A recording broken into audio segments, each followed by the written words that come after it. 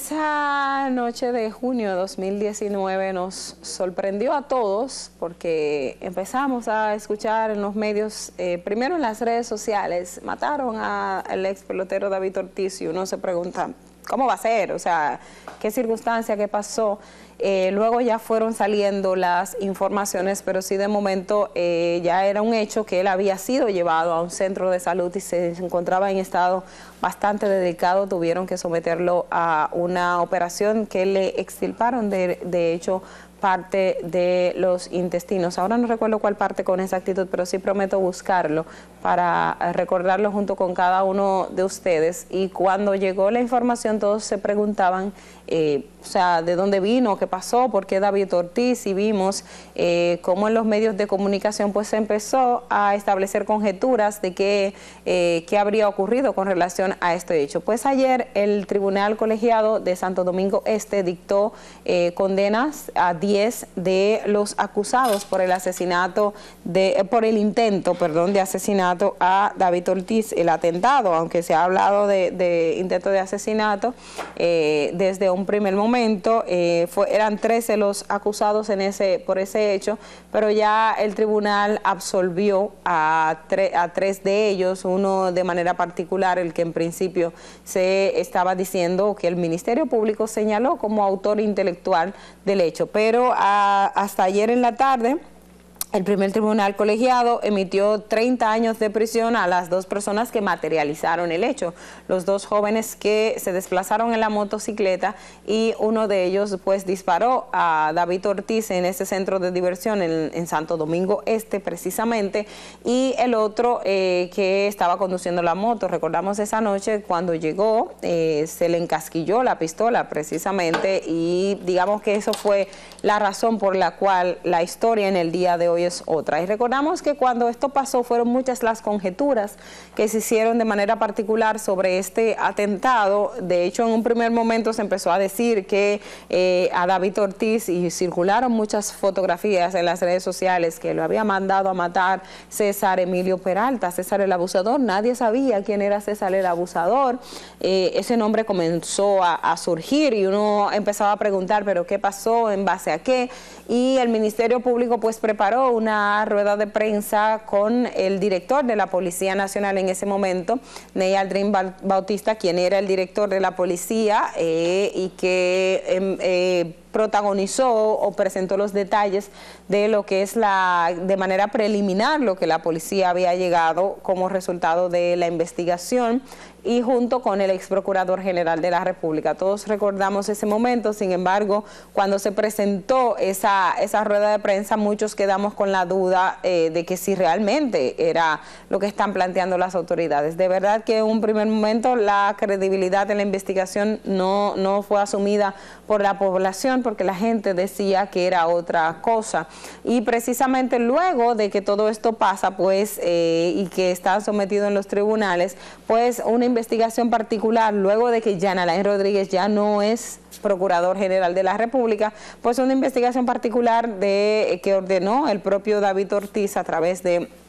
un investigador privado en los Estados Unidos, pues en, una, en un medio de comunicación de los Estados Unidos, en el Boston Globe, eh, revela que el atentado habría sido ordenado por César Emilio Peralta. Entonces, otra vez volvió al tapete el tema de César Emilio Peralta y el atentado a David Ortiz. Pero en esta mañana yo quiero que eh, mucha gente ahora no, no tiene fresco lo que ocurrió ese día. Entonces, nosotros en la cosa como es, queremos recordar esos momentos precisamente porque ya el tribunal ha emitido un una decisión de condena hacia los implicados en el hecho. Y más adelante les voy a leer todos los nombres de los que fueron condenados y la pena a las que les fue impuesta cada uno por su participación en lo que fue el atentado a David Ortiz. Pero quiero que junto conmigo recordemos el momento en que la Procuraduría General de la República convocó a los medios nacionales e internacionales para dar el informe sobre el atentado a David Ortiz, de cómo estaba eh, eh, el momento de los hechos, la conjetura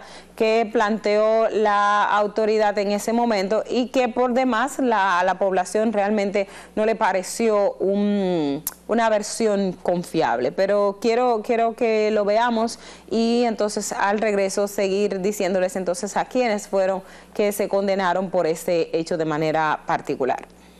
Permítanme mostrarles dos videos dos videos en los que ustedes podrán observar el comportamiento de los que estaban allí. Ahí está, Alberto Rodríguez Mota, uno de los autores intelectuales, llega al bar aproximadamente 5.40. Fíjense que el bar está vacío en ese momento de la tarde. Se sienta ahí con su celular, sigue avanzando la tarde, Ahí ustedes ven cuando llega David Fernández Vázquez, aproximadamente alrededor de las 7 de la noche, llega al negocio, saluda, saluda a todo el que está, busca una mesa, coordina con el, con el personal de seguridad que lo ubique en una mesa porque vienen sus invitados, viene David Ortiz a sentarse con ellos, miren cómo se presenta. Recuerden ustedes que esto es alrededor las 7 de la noche, pero desde las 5.40, eh, desde las 5.40, Alberto está sentado esperando. Llega, se sienta, sentado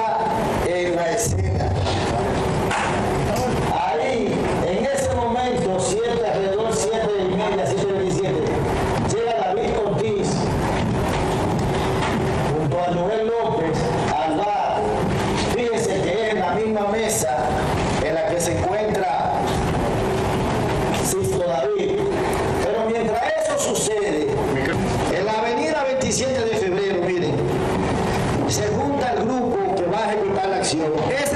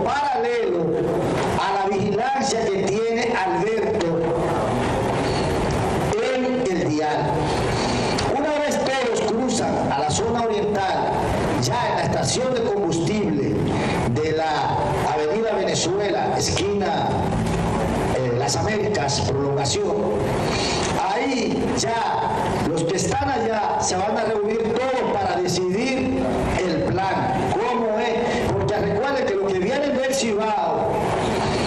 no saben a quién es que van a realizarle su operación.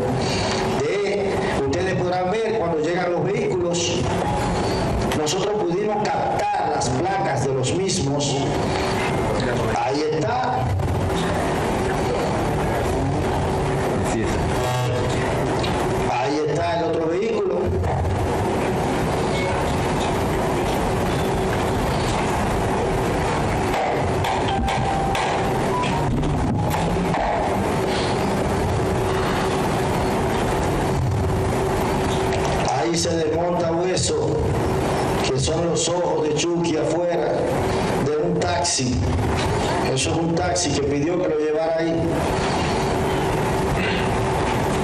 Que posteriormente lo deja más adelante porque él decide dar una vuelta a pie. Dar una vuelta, pero como esto queda a unas dos o tres cuadras de, de la estación de combustible, de la estación de combustible, él llama a su taxista de confianza y su taxista de confianza llega en su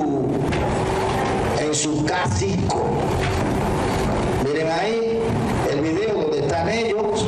se desmontan y se montan en el vehículo.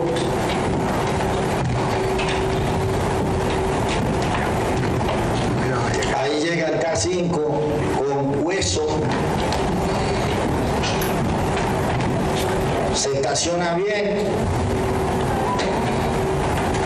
se le para detrás el siguiente vehículo, se desmonta hueso y se monta en el carro donde está Rolfi el que va a disparar y le muestra dentro del vehículo la fotografía de la persona a quien debe disparar. Ya dieron la vuelta, ya, le, ya él le mostró la fotografía lo siguiente es poder ir a ubicar a la persona de la fotografía.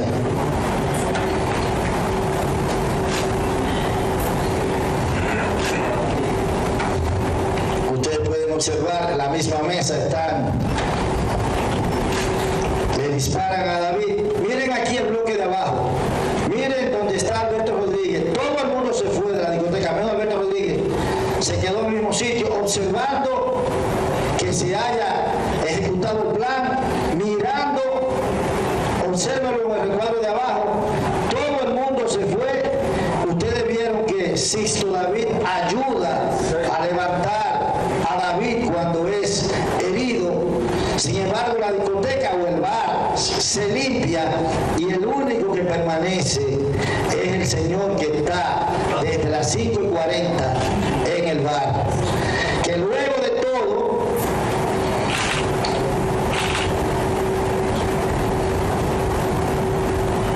entonces es cuando se marcha.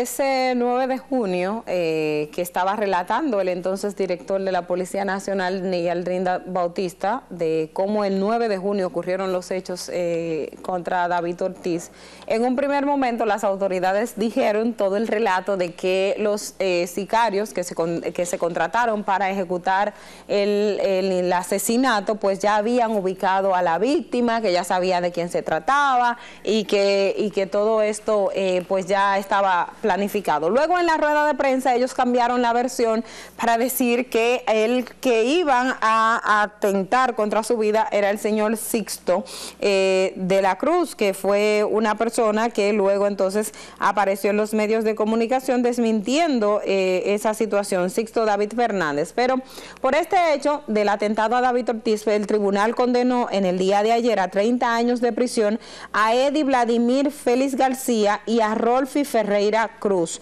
Los dos recibieron la mayor pena, 30 años de, prisión. En el caso de Royfi, fue la persona quien disparó a quemarropa contra David Ortiz, que fue lo que ustedes vieron en el video, y que eh, luego intentó disparar en una segunda ocasión la pistola, pero se le encasquilló. Y esa noche David Ortiz estaba acompañado del comunicador Joel López, quien también recibió una herida. La policía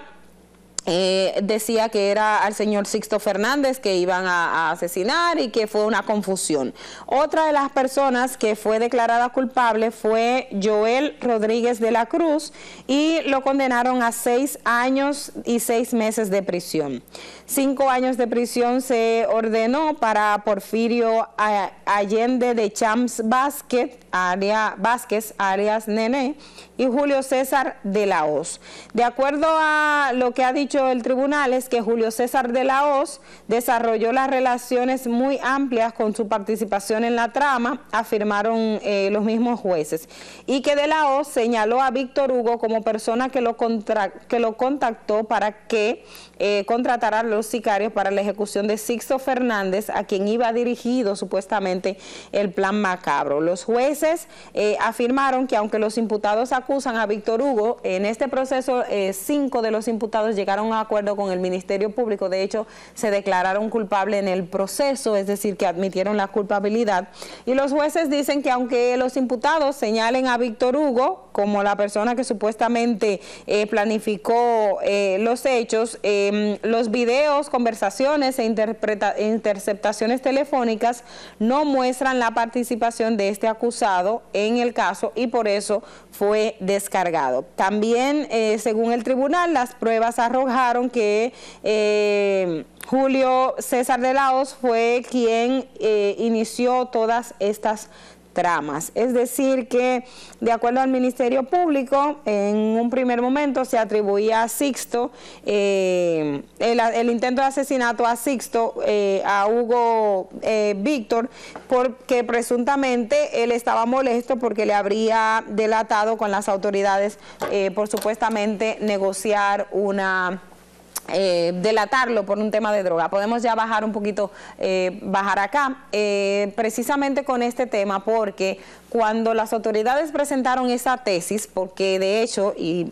no, no, no recordé tomar la fotografía para presentarles cómo estaban vestidos David Ortiz y el señor eh, Sixto en esa noche, que las autoridades dijeron que la vestimenta coincidían y de hecho hubo un, momento de que alguien hacía una broma que eh, es em, despectiva, pero sí se tomó, eh, o sea, la gente decía, conchale, pero tiene un poquito de, lógica, porque decía un señor, pero ¿quién va a comparar a David Ortiz con, con Sixto. O sea, David Ortiz lo puede comparar con King Kong. Ustedes recuerdan la película de King Kong y King Kong no vive en República Dominicana. Pero fue una forma de decir cómo, cómo va a ser posible que alguien va a confundir a David Ortiz, un hombre negro, fuerte, o sea, pelotero, que todo el mundo lo conoce, con otro joven que es de tez más clara, menos corpulento que David Ortiz, no tiene las mismas características de David Ortiz. Sin embargo, las autoridades dijeron que el tiro eh, iba destinado al señor señor eh, Sixto y que fue un conflicto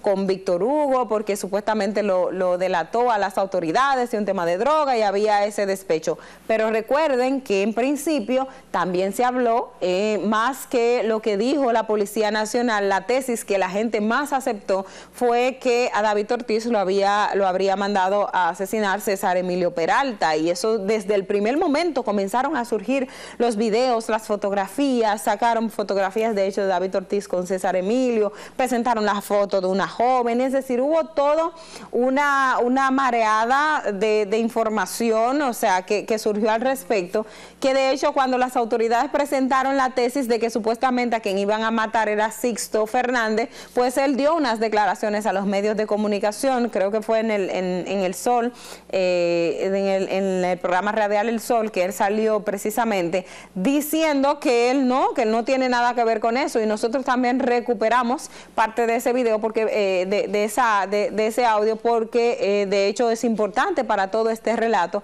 y lo que ha surgido al día de hoy porque ahora el tribunal ha dicho que el señor Hugo no es el autor intelectual de, de ese hecho y que ninguno de las de los elementos de prueba que se presentaron en el tribunal evidencian de que él tuvo algo que ver con ese atentado como estaban diciendo las autoridades del Ministerio Público. Vamos a recordar lo que dijo el señor Sixto Fernández cuando fue entrevistado por los medios de comunicación precisamente con relación a esta imputación o a estas declaraciones que dijo el director de la Policía Nacional y la Procuraduría General de la República. Pero yo no tengo ningún tipo de enemigo, yo lo que soy un comerciante, que tengo un taller de desarrollador y pintura, soy una persona muy agradable que todo el mundo me conoce yo no sé a qué viene eso, si es algo que dicen, si es algo, yo no tengo ni un gato de enemigo, persona que trabajo honestamente, no soy un hombre que estoy bien económicamente, yo soy un hombre normal, común y corriente, yo estoy a la disposición de cuando me quieran investigar, yo voy lo que ustedes quieran, pero oigan bien esto, yo no tengo ni un solo enemigo, ni un gato. Yo estaba en la silla de frente de él, del otro lado de la mesa. Yo estaba. No estaba ni al lado de él, ni nada por el estilo, ni nada. E incluso eh, la lógica y la ley de la lógica existe. Yo y David somos dos personas físicamente muy diferentes para parecernos. Yo tengo una ropa oscura, eh, ustedes pueden buscar el video, me pueden ver. Pues ya ustedes estaban eh, escuchando nuevamente lo que en ese momento decía el señor Sixto, que fue, eh, digamos, la, parte de la, del relato que el Ministerio Público presentó cuando se dio a conocer todo este atentado a David Ortiz, que definitivamente llamó la atención de eh, nacional e internacional, porque estamos hablando de David Ortiz, o sea, es algo que, que han dicho tanto Sixto como otros imputados y, y de hecho la propia ciudad o sea, ¿cómo vas a confundir a David Ortiz con esta persona si no tienen las mismas características? Entonces, esa es una parte de la, de la investigación que de hecho quedó, quedó un poco coja y que precisamente luego de que todo esto pasó, ya que hubo cambio de gobierno, que llegó Miriam Germán a la Procuraduría General de la República, luego en Estados Unidos, y recordamos que en ese momento David Ortiz había, eh, de acuerdo a las autoridades, dicho que David Ortiz estaba conforme con la investigación, pero luego resulta que él había pedido también y él había dicho una investigación independiente por parte de un, eh, de un investigador privado para determinar quién fue que lo mandó a matar, o sea, por qué el móvil de su asesinato, quién tiene que ver con eso, porque por más que las autoridades, y créanme, yo estaba en la redacción y yo en un primer momento intenté convencer a mis compañeros y decirle, pero esa teoría es posible, porque, era, porque el nivel de eh, falta de credibilidad que tenía la Procuraduría en ese momento y las autoridades era tan grande que aún diciéndole una coartada que pudo ser real, la gente decía no, porque no creían en el Ministerio Público, no creían en la policía y eso también es muy delicado a la hora de que cuando estamos hablando de nuestros sistemas, si la gente no cree en el sistema, a veces se le dice una verdad y resulta que es una mentira. En este caso, aparentemente, eh, se está hablando de una mentira porque luego una investigación privada que pidió David Ortiz, eh, señala que quien habría mandado a asesinarlo fue César Emilio Peralta. Esa investigación a República Dominicana no ha llegado. La Procuraduría General de la República, de hecho, dijo que iba a abrir otro capítulo de esa investigación. Designaron al procurador adjunto Rodolfo Espiñeira para ese proceso. No hay nuevos detalles, de verdad que no hay eh, información hasta, hasta el momento con relación a esa nueva parte o esa fase de la investigación que el Ministerio Público pues dijo que iba a llegar a cabo, a llevar a cabo con relación al hecho de David Ortiz. Ahora, algo que eh, ya una vez pasó el proceso, uno le dice, bueno, tiene un poquito de lógica, porque cuando David Ortiz estaba siendo operado en la clínica, de la, eh, en la clínica Abreu, si mal no recuerdo, así es, en la clínica Abreu, que está en la avenida Abraham Lincoln, a ese espacio fueron muchas personas y uno de los que llegó esa noche a, e, a ese lugar fue César Emilio Peralta, César el abusador, y que la gente logró grabarlo. Y de hecho queremos también recordar ese momento de cuando estaban en el proceso de, de esa cirugía delicada a David Ortiz, que la gente estaba preguntando por el estado de David Ortiz y César Emilio Peralta pues se apareció en ese hospital o en ese centro de salud privado. Vamos a recordar este momento también.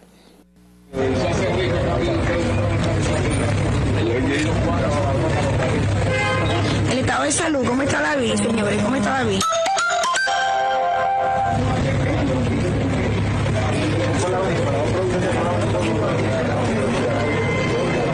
Esperando una vaina.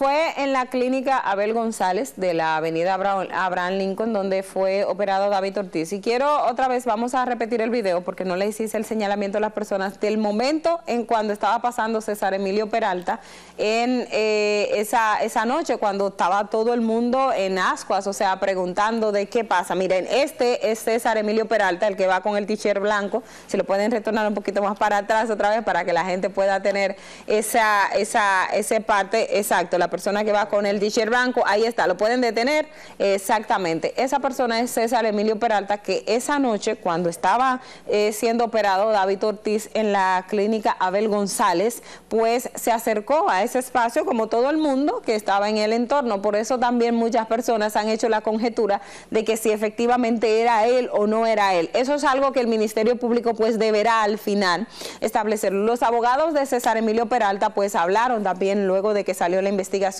de eh, esa, esa, publicación en el medio, eh, en el Boston Globe, y ellos dicen que estaban pidiendo de hecho esa, esa investigación para, para saber cuáles son los argumentos o las bases que tenía eh, el inspector, ese, esa persona designada para la investigación y que diga que César Emilio Peralta. De hecho, todo esto es parte de las cosas que estamos esperando y vuelvo y reitero, el Ministerio Público no ha dicho qué ha pasado en ese sentido. La última información que se tuvo es que a ellos no se le había entregado esa investigación. Es una investigación privada, no fue una investigación de una autoridad judicial en los Estados Unidos. Es decir, que si hubiese sido la justicia de los Estados Unidos que investigara ese hecho, pues República Dominicana simplemente tenía que solicitar mediante la cooperación jurídica esa investigación para asumirla y de ella partir y, y realizar sus propias investigaciones como una segunda fase del proceso. Fue una investigación privada, el Ministerio Público pues bien podía pedir a eh, este investigador privado que eh, contrató David Ortiz, ahora voy a buscar el nombre porque sí recuerdo que lo eh, se presentó, pero ahora mismo no no tengo el detalle de, fue un ex comisionado precisamente él contactó en ese momento para que hiciese la investigación y esos fueron los detalles que él dio. Eh, fue Ed Davis quien eh, hizo la publicación, fue el ex jefe de la policía de Boston, fue la persona que dirigió esa investigación y fue publicada en el Boston Globe eh, que acusa directamente a César Emilio Peralta. Ustedes saben que César Emilio está preso en Puerto Rico, que es donde donde fue eh, extraditado, donde fue llevado por un proceso también vinculado al, a narcotráfico. Sin embargo, hasta el momento en nuestro país sobre ese atentado a David Ortiz, pues no se han dado mayores detalles. Es una investigación que estaba a cargo, de hecho la procuradora Miriam Germán designó al procurador adjunto Roberto Espiñeira para que llevase ese proceso eh, con relación a la investigación de manera particular. Eh, no hemos visto más detalles. La semana pasada a David Ortiz le correspondió ir a declarar en el tribunal, eh, porque era parte del juicio y David se querelló como, como víctima en el proceso. Y una de las cosas que dijo en el tribunal es que él ya había perdonado a esos 13 jóvenes a los que se les vincula al atentado y de manera particular los que lo materializaron. Es decir, él dijo que en su corazón no alberga rencor, que su familia, sus padres le mostraron eh, los valores y que, y que él no es una persona rencorosa y que por eso pues él ya los había perdonado. Entonces ya ahora la justicia dominicana ha tomado esta decisión. Vamos a esperar ahora lo que digan los fiscales, el Ministerio Público con relación a este proceso, quienes lo llevaron, si eh, la condena se quedará ahí o si ellos van a apelar la decisión. Eso es un detalle que todavía eh, de manera eh, a priori no, no manejamos. Asumo que van a esperar la decisión íntegra del tribunal todas las motivaciones para al final decidir qué va a pasar, pero eh, el hecho es que tenemos los condenados, la gente que materializó, que participó en todo este hecho, que la Procuraduría documentó junto con la policía en videos, tuvimos eso, esos detalles. Sin embargo, el autor intelectual todavía no se tiene, porque quiere el Ministerio Público señaló como autor intelectual derecho, el tribunal ha dicho que no es esa persona, que no hay ningún vínculo, que no se ha podido demostrar que él efectivamente haya mandado a matar a Sixto, porque la teoría siempre ha sido que a quien se mandó a matar fue a Sixto Fernández, no a David Ortiz, sino que como ellos estaban cerca, él y David Ortiz, y que entonces fue, fue una confusión. Recordamos que eh, Jeffrey, eh, uno de los, de los imputados, eh, que, fue el que materializó, no se llama Jeffrey, perdón, confundí su nombre, que es Rolfi. Rolfi es el nombre del joven que, disparó. Él repitió en un video que se, que se grabó mientras él estaba detenido, él dice, fue, fue por confusión confusión, eh, no fue a él y se le preguntó, bueno, entonces, ¿a quién era que, iban a que ibas a matar? Él no dijo a quién iba a matar, pero él dijo que fue un error para David Ortiz. Pero si fue un error para David Ortiz, entonces tenías que decir a quién iba a matar. Entonces, al final, todo eso quedó en, eh, en que no se creyó la teoría del Ministerio Público con relación al atentado a David Ortiz, pues eh, precisamente en lo relacionado al objetivo y a la persona que ordenó el asesinato. Y es algo que ahora el Tribunal de la provincia de Santo Domingo pues ha dicho en esta decisión que ya se leyó en el día de ayer. Hay condenados a 30 años de prisión, los dos que materializaron, es decir, eh, Rolfi, quien fue que disparó, y el joven que lo acompañó en la motocicleta, y luego también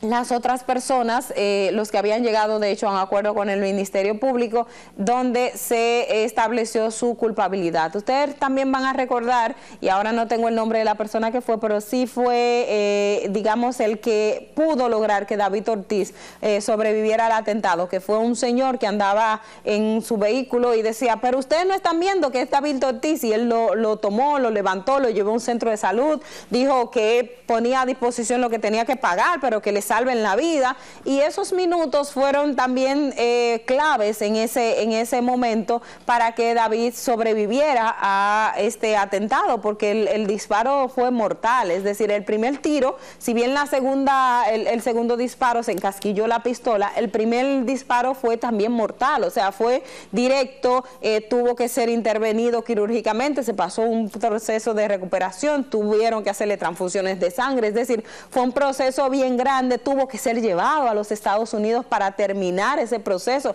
Lo llevaron en avión, es decir, que la intervención de aquí se dio el primer paso eh, en, esa clínica de manera urgente y lo demás se terminó en los Estados Unidos, pero la gravedad del disparo, el, golpe, eh, la bala mortal, pues la recibió David Ortiz y en el día de hoy, pues si esa, si esa pistola no se hubiese encasquillado, pues el, el resultado hubiese sido otro. Mientras tanto, existe todavía esa duda de quién en realidad mandó a matar a David Ortiz, quién es el autor intelectual del hecho y si el Ministerio Público, pues con relación a esta investigación, tendría también su propia teoría de caso. Es otra cosa que hay que, hay que esperar. Eh, es muy pronto, ya se dio la primera sentencia, ya se emitió la decisión de primer grado, hay que esperar si van a apelar, si no van a apelar, si David Ortiz y sus abogados están conformes con esa decisión que se emitió. O sea que es algo que en estos días, hoy mañana pues lo veremos en los medios de comunicación. Sin embargo, ya tenemos, ya tenemos una primera, una primera decisión en torno a este hecho que como reitero, desde que ocurrió, todos quedamos con la duda de que si efectivamente era para él o no era para él el atentado, porque la teoría que plantearon las autoridades no coincidían. Y al final, cuando se presentó la investigación particular que ordenó David Ortiz y que fue dirigida por el ex eh, jefe de policía de, Boston, pues eh, digamos, puso más eh, interrogantes al proceso porque ahora República Dominicana de manera oficial a través de la, del Ministerio Público y la Procuraduría no han dado, digamos, una respuesta también en ese sentido todo eh, basado que en un primer momento pues el, el, procurador adjunto había dicho que no tenía, no había tenido acceso a esa investigación de manera particular que había ordenado David Ortiz. Hay que ver si ya ellos tuvieron acceso a él, qué ha pasado y qué van a decir al respecto. Mientras tanto, ya hay una primera condena y lo demás pues hay que esperar que el tiempo sea el que decida o las junto con las autoridades si deciden hacer una nueva investigación, pues que arrojen luz con relación al caso de la atentado al ex pelotero David Ortiz. Hacemos una pausa, señores, y retornamos con más de la cosa como es.